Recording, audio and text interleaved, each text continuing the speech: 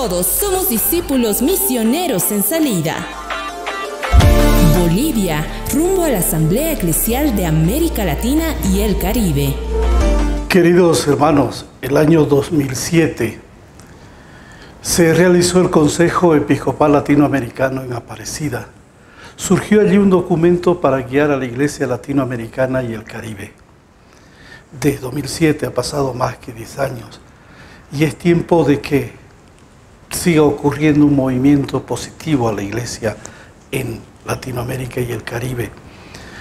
Y yo desde aquí quiero invitarte a que participes en todas las actividades que se van a realizar con ocasión de la preparación a esta asamblea de la Iglesia Latinoamericana.